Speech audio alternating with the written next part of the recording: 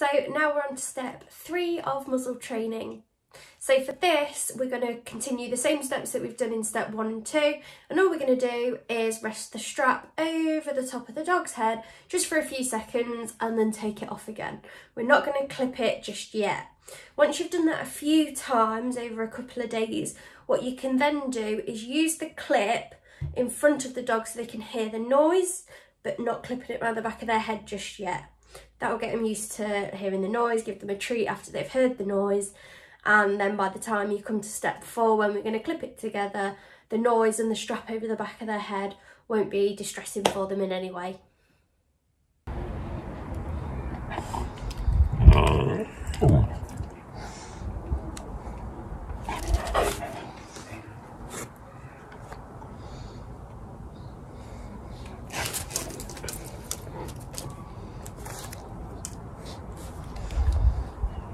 Good